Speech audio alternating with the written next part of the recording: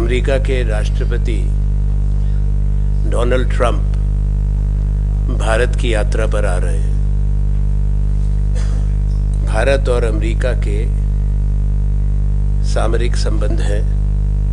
ये बड़े महत्वपूर्ण साझेदारी है स्ट्रेटजिक पार्टनरशिप है।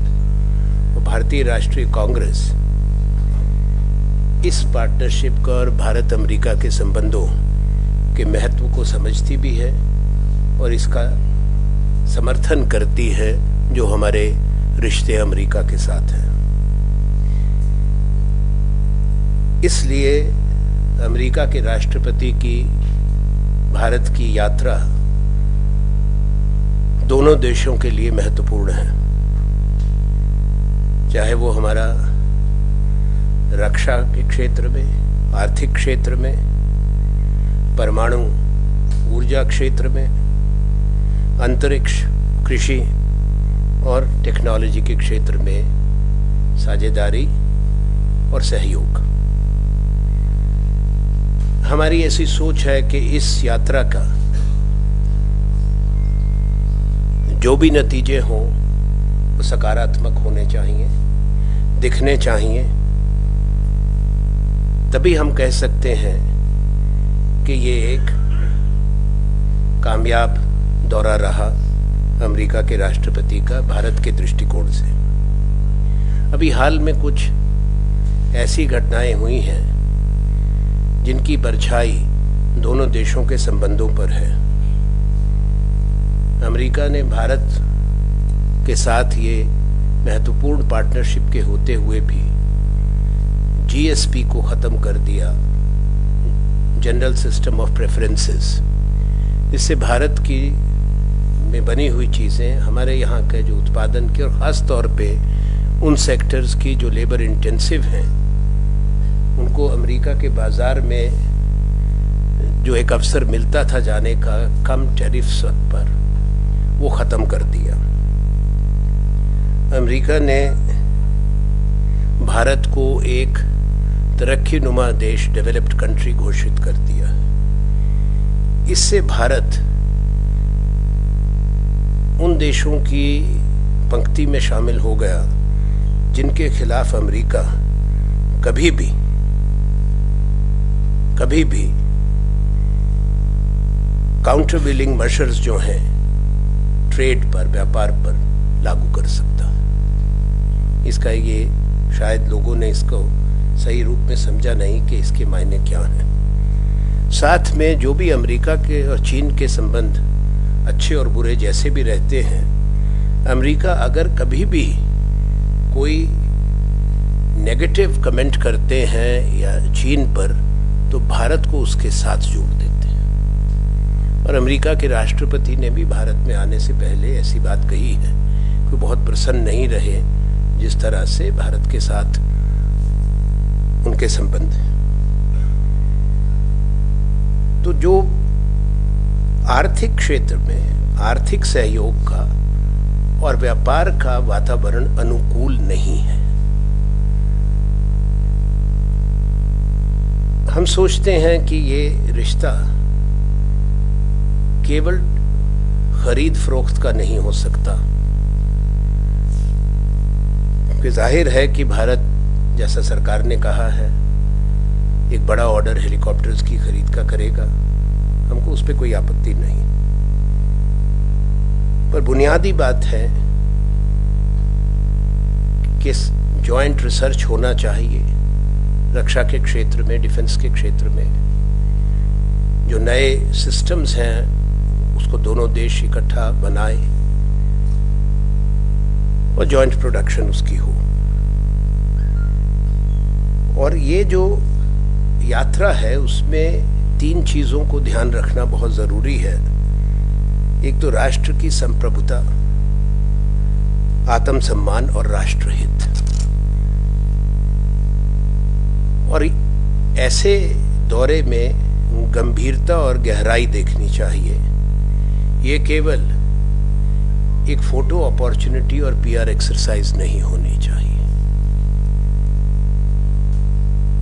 हम ऐसी उम्मीद करते हैं कि माननीय प्रधानमंत्री नरेंद्र मोदी जी के और डोनाल्ड ट्रंप जी के संबंध बहुत अच्छे हैं, मित्रता है। और जैसे डोनाल्ड ट्रंप ने स्वयं कहा है कि प्रधानमंत्री ने उनको आश्वस्त किया है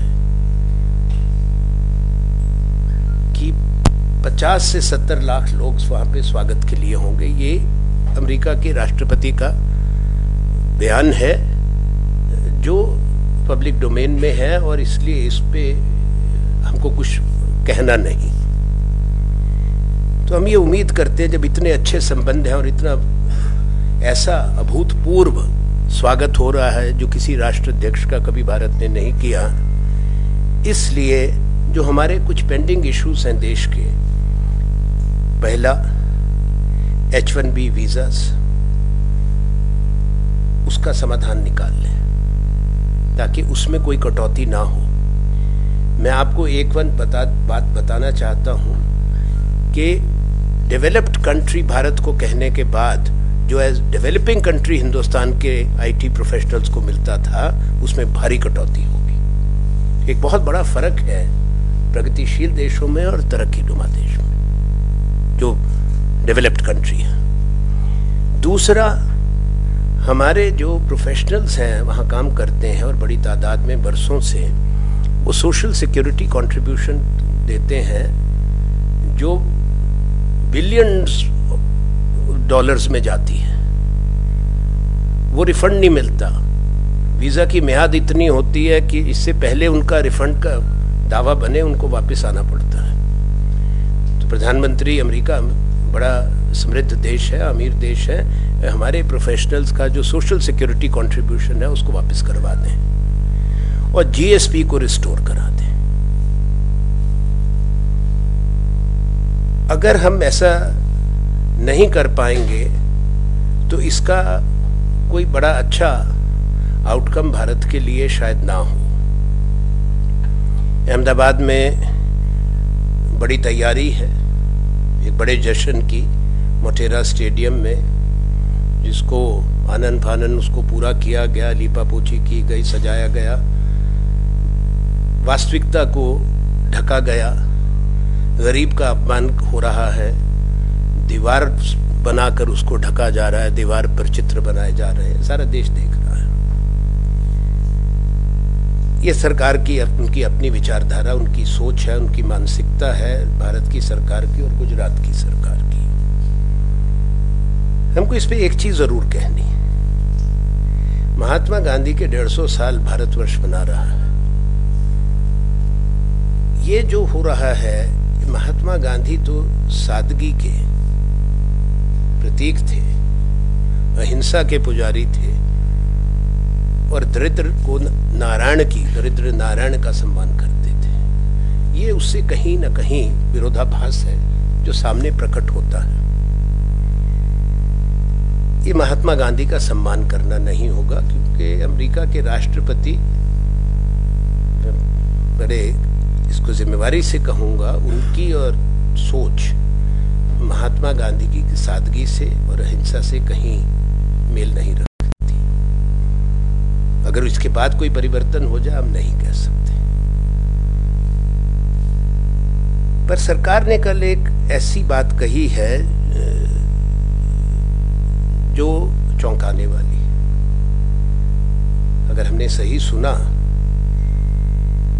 भारत सरकार की तरफ़ से कल ये दावा किया गया है कि जितना ये सारा प्रबंधन हो रहा है, वो एक नागरिक अभिनंदन समिति कर रही है। क्या अमेरिका के राष्ट्रपति अहमदाबाद किसी नागरिक अभिनंदन समिति के निमंत्रण पर जा रहे हैं? ये समिति कौन सी है? कब बनी? इसका रजिस्ट्रेशन कब हुआ? पंजीकरण कब हुआ? इसके पास इतना पैसा कहाँ से आ गया? वास्तविकता ये है कि सब पैसा सरकार का है, भारत की सरकार का और गुजरात की सरकार का। और गुजरात की सरकार नहीं, जितनी भी वहाँ पर अप्रूवल्स हैं, जो भी मोटेरा स्टेडियम लिया गया है, जो भी सारी की सारी रास्ते में जो पूरे भारत के 28 राज्यों के कलाकार आकर अपना हुनर का प्रदर्शन करेंगे पूरे देश से आ रहे हैं। तो ये तो कोई अभिनंदन समिति के तो बस के बाहर है। दो दिन के अंदर पूरे हिंदुस्तान को खड़ा कर दे। वो नहीं है। तो वो सारे की सारी जो अप्रूवल्स हैं, वो वहाँ की सरकार की हैं, वहाँ के प्रशासन की हैं, वहाँ की चाहे वो ज़िला का प्रशासन है, पुलिस का प्रशासन है। और अहमदाबाद म्यूनसिपल कॉरपोरेशन को विशेष ग्रांट भी दी गई है। हमको इस बातों पर आपत्ति नहीं है, पर सरकार को झूठ नहीं बोलना चाहिए, सच बोलना चाहिए। आप कर रहे हैं तो पूरा छाती ठोक कर मोदी जी को कहना चाहिए कि मेरे दोस्त आ रहे हैं, मैं इतना बड़ा प्रबंध कर रहा हूँ, नमस्ते ट्रंप का। ये कोई रातों रात एक नकली काल्पनिक समिति बना दो, ये उचित नहीं है, पाखंड है। इसको, इससे सरकार को परहेज करना चाहिए, अच्छी बात नहीं है। हमने तो कहा ही नहीं था कुछ। इन्होंने ही कहा। और वास्तविकता ये है, देश में, हमारे देश में बहुत लोग रहते हैं तो हमारे यहाँ लाख, दो लाख आदमी इकट्ठा होना स्वाभाविक होता है। अभी तो अहमदाबाद की आबादी बहुत बढ़ चुकी है। 1930 में, यानी कि आज से 90 साल पहले, जब राष्ट्रपिता महात्मा गांधी दांडी यात्रा के लिए निकले थे तो अहमदाबाद की आबादी पचहत्तर हज़ार थी। पर आसपास के इलाकों से लोग आए। महात्मा गांधी के साथ जो लोग चले, उनको अगले स्थान तक छोड़ने के लिए तो एक लाख से ऊपर आदमी था। एक ऐतिहासिक संख्या है और तथ्य है। ये सिर्फ़ हम बताना चाहते हैं। क्योंकि गांधी जी के डेढ़ सौ साल मना रहे हैं और अहमदाबाद का ज़िक्र है। दांडी यात्रा भी वहीं से शुरू हुई थी, इसलिए मैंने सोचा कि ये बात आपसे कह दूँ। हमारी मालूमात में तैयारी के पीछे ताकत है, होनी भी चाहिए। पर कोटा फिक्स हुआ है। हर कॉलेज का, हर यूनिवर्सिटी का, हर स्कूल का। छात्र, अध्यापक और कर्मचारी। पाँच घंटे के लिए तीन घंटे की पूरी यात्रा है, पाँच घंटे तक स्कूल के बच्चों भी खड़े रहेंगे। अभी उनका दृष्टिकोण है। आंगनवाड़ी और आशा के सारे जो काम करने वाले लोग हैं, वो लोग भी रहेंगे। वही भारत के नागरिक। और हर ब्लॉक से सौ अध्यापक रहेंगे।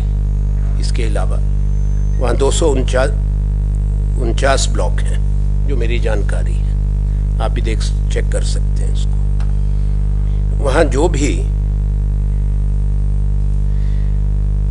होर्डिंग्स लगे हैं कोई अभिनंदन समिति के नहीं माननीय प्रधानमंत्री नरेंद्र मोदी जी के, डोनाल्ड ट्रंप के, मिलानिया ट्रंप के, और विजय रूपानी जी के हैं। मैंने इसको भी अभी पहले इसको कंफर्म किया है, आने से पहले एक एक और चित्र। प्रणब झा जी के पास हैं, जो हमारे राष्ट्रीय सचिव हैं, ये आपको बता देंगे शेयर करेंगे। तो हम यही कहते हैं कि ये जो यात्रा है ये कोई वहाँ के राष्ट्रपति के चुनाव के प्रचार की एक कड़ी नहीं बनना चाहिए। इसके नतीजे राष्ट्रहित में होने चाहिए। और ये कहना कि ये कोई वहाँ पे गुजरात के और अहमदाबाद के लोग स्वयं कर रहे हैं, जैसा मैंने कहा, नहीं, सच नहीं है। क्योंकि वहाँ तमाम विपक्ष को विपक्ष के नेता को और विधायकों को इससे बाहर रखा गया। ये भी मैंने इसका पुष्टिकरण स्वयं किया है, बात करके नेता प्रतिपक्ष और दूसरे विधायकों से आज सुबह। US president is Donald Trump is visiting India it's a very important visit India and United States of America share strategic partnership which embraces nuclear, defense, technological, agricultural, educational cooperation. The Indian National Congress values and supports India's strategic partnership with the United States, which this country has built over decades, including the Indo-US nuclear agreement and cooperation in defense and space sciences which was done during the UPA regime with Dr. Manmohan Singh as the Prime Minister. Therefore, we support the continuity of the cooperation between the two countries in strategic spheres. In our view, this visit must have tangible outcomes. Then only it can be termed a success from the Indian perspective. There have been recent developments which have cast a shadow. These developments are negative from our perspective. United States of America and President Trump, they have withdrawn the GSP benefit to the Indian products, Indian produce and Indian exports. There's a general system of preferences. US has also before the visit declared India a developed country thereby equating India with rich countries, including China, whereas China's per capita income is five times that of India and their GDP is five times that of India. So India with a per capita income of $2,000 per annum cannot be declared a developed country because as a developed country the fallout should be known and the fallout is that even for our IT professionals, H1B visas, the number would drastically come down. Now, it is important that this visit reverses what has happened. It also exposes this developed country status, India to United States countervailing measures. The trade environment is unfavorable.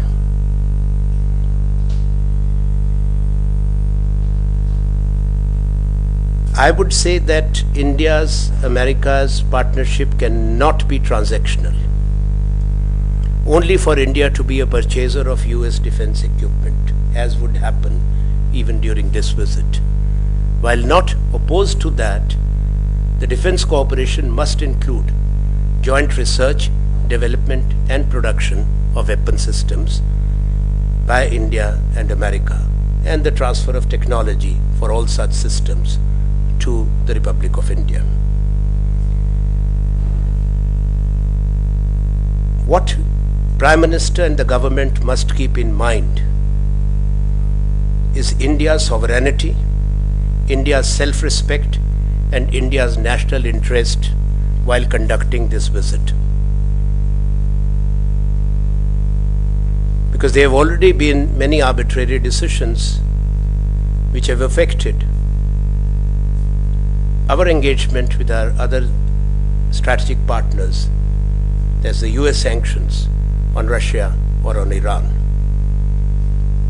We are a sovereign country, therefore we have the right to engage with our other partner countries on our terms and that independence and space should be there.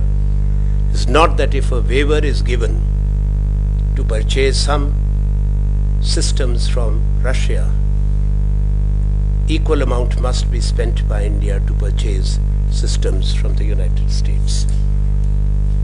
Each relationship should be independent. Each strategic partnership is independent of India's strategic partnership with another country. These are standalone relations. There should be gravitas, seriousness and depth in this visit. We hope, given the special friendship between Prime Minister Narendra Modi and President Donald Trump, this country will hear enhancement of H-1B visas, restoration of the GSP for India, General System of Preferences, GSP, which provides pref preferential market access for Indian produce to America and also reversing the present decision and recognizing India as a developing country. An agreement on the refund of the social security contributions that are regularly being made by Indian IT professionals over the years and they run into billions of dollars. These are outstanding issues. This visit should not be reduced to a photo opportunity or a PR exercise. That would devalue the importance of our partnership. That would also not be in India's national interest. We know that there is a big event that has been planned, festivities, and unprecedented arrangements. There is no precedent that we have extended this kind of welcome and celebration to any head of state. But the Prime Minister has his own characteristic way of celebrating special occasions and it is his privilege, his government and their thinking and also the government of Gujarat which is extending uh, and rightfully so all support. Therefore, the government should not engage in any hypocrisy like yesterday's claim when a question was put whether the opposition there in Gujarat will be also present or invited for the Motera Stadium extravaganza. The government said that there is a Nagarik Abhinandan Samiti, that is a citizen reception committee for Trump, Trump Nagarik Abhinandan Samiti, which is making these arrangements. There is no need for the government to tell untruths officially.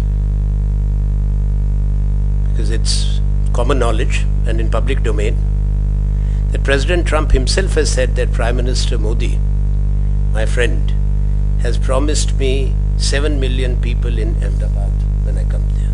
That's good. All the arrangements which have to be made, being made by the Gujarat government and the Gujarat uh, Ahmedabad Municipal Corporation. The country is also observing and commemorating the 150th anniversary of Mahatma Gandhi. And the venue is Ahmedabad. And there would also be a visit to Sabarmati Ashram. Now what is happening, particularly also the insult to the poor and this splurge at the cost of state exchequer militates against the philosophy and value system of the father of the nation, Mahatma Gandhi. That I must say. And as I said earlier, 90 years ago, when Mahatma Gandhi started his walk, the Salt Satyagraha, the Dandi Yatra, in a city of 75,000, which included children, women, infirm, old, more than 100,000 had come just to walk with him and to see him off.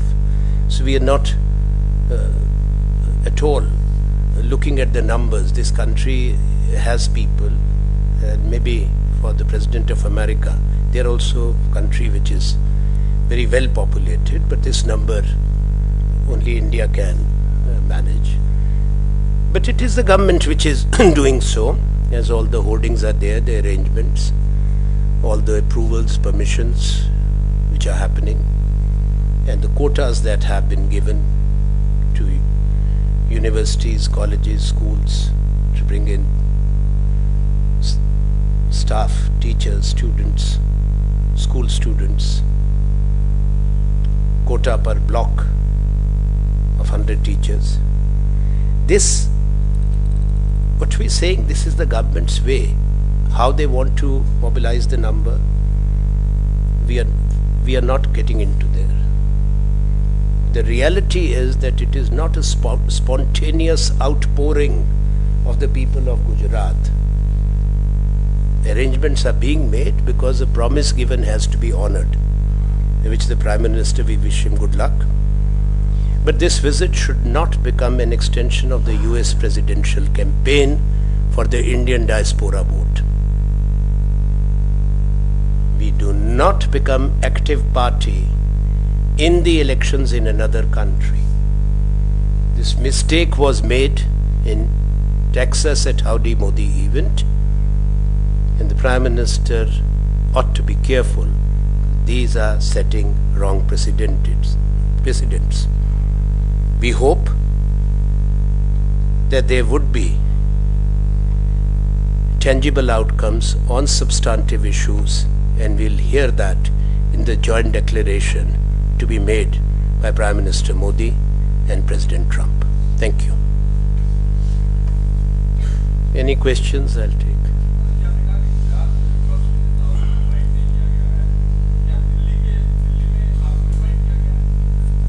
ना तो हम वो तो एक औपचारिकता होती है, leader of opposition को बुलाया जाता है तो राष्ट्रपति की तरफ़ से आता है बाकी ऐसी कोई प्रस्तावना ना हमारे पास है ना हमारे तक पहुँची है तो इसलिए मैं कुछ नहीं कह सकता।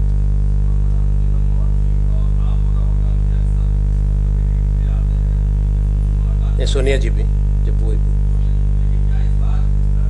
नहीं, ऐसी कोई प्रस्ताव नहीं है। अभी तक कोई ऐसा प्रस्ताव नहीं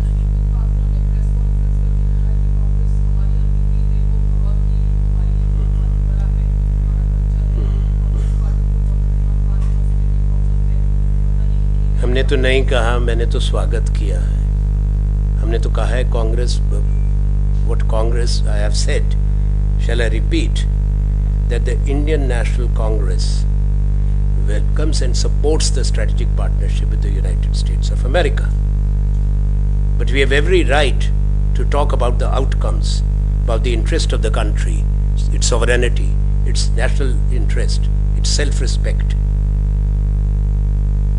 we receive heads of states and governments. But such a bonanza has never been there. It has never happened.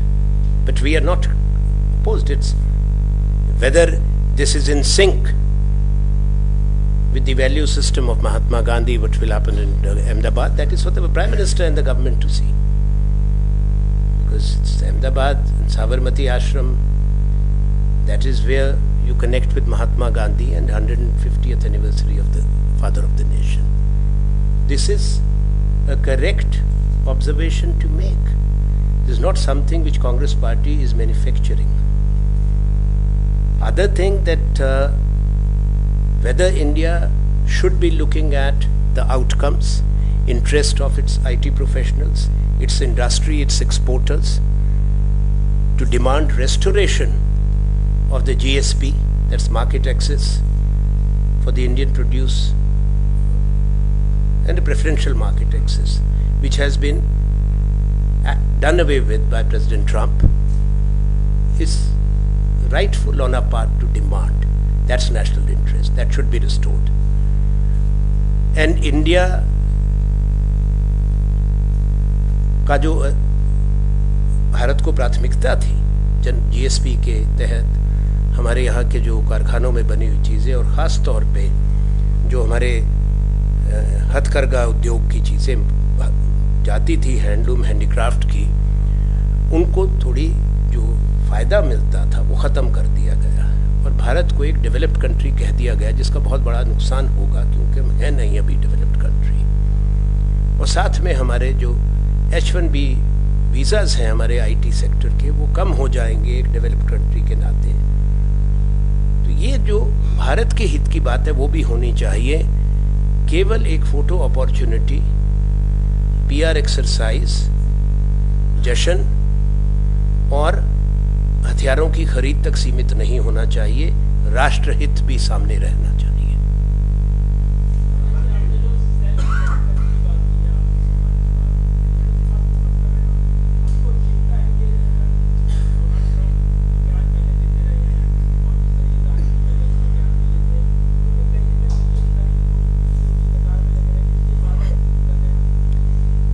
जी, भारत को बराबरी के दर्जे से बात करनी चाहिए। हम एक बड़ा देश हैं। अमेरिका भी एक बड़ा और शक्तिशाली देश है। भारत को बड़े भाई और छोटे भाई का रिश्ता स्वीकार नहीं करना।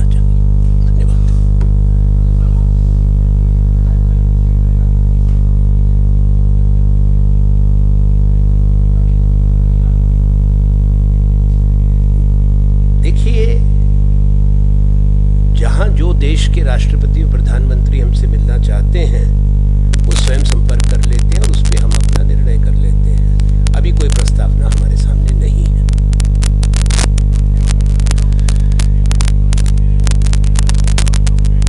ये वही है, मोटेरा स्टेडियम के माध्यम से क्या हो रहा है?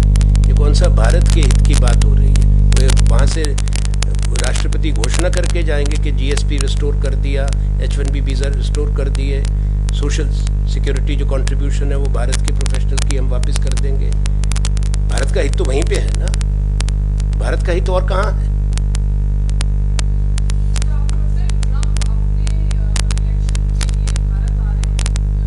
नहीं, मैं वो नहीं कह रहा, पर मोटेरा की जो बड़ा जश्न है, उसकी सीधी तस्वीरें तो जाएँगी, वो तो ज़ाहिर है। तो मोदी जी तो वहीं कह आए थे टेक्सास में उनके प्रचार के लिए अब की बार मैं बोलना नहीं चाहता।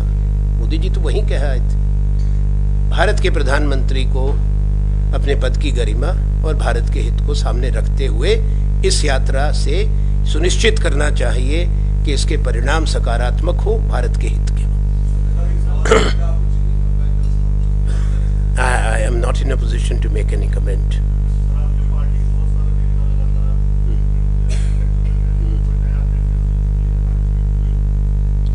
इससे पता लगता है कि कांग्रेस में लोग अपना विचार व्यक्त करते हैं, पर कांग्रेस का क्या इसमें दृष्टिकोण है, वो भारतीय राष्ट्रीय कांग्रेस की कार्यकारिणी उसको तय करती है और ये सारे निर्णय कांग्रेस वर्किंग कमेटी लेती है।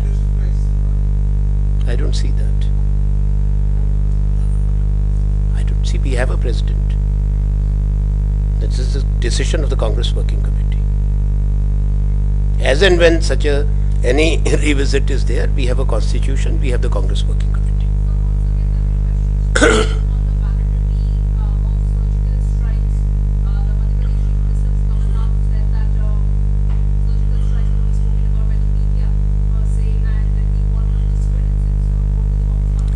Well, uh, the, the Chief Minister of Madhya Pradesh is a senior leader and he's very much within his right to question.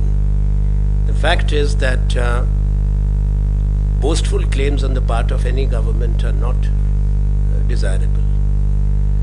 Indian Army has done the country proud and the past army chiefs have said that many strikes have been undertaken when national security demanded so. So we should not, as we have said earlier, I have said it in Parliament, this army belongs to India. It fights under the tricolour. It's neither Modi's army or BJP government's army. What the army does, the nation salutes. It cannot be politically encashed.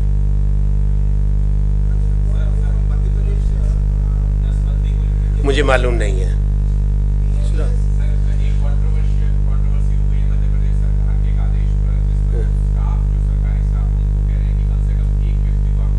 देखिए ऐसा है मैं ना मैंने ना मैंने कोई अध्यादेश देखा है ना मुझे अभी आपने बताया है। इस पे भोपाल में स्पष्टीकरण दे देंगे वहीं पे सवाल होना चाहिए। यहाँ तो हमारे पास जानकारी नहीं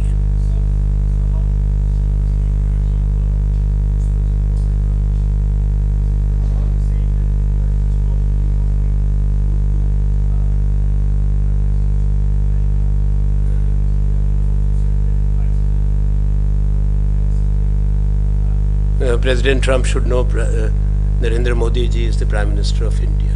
He should like both. Thank you.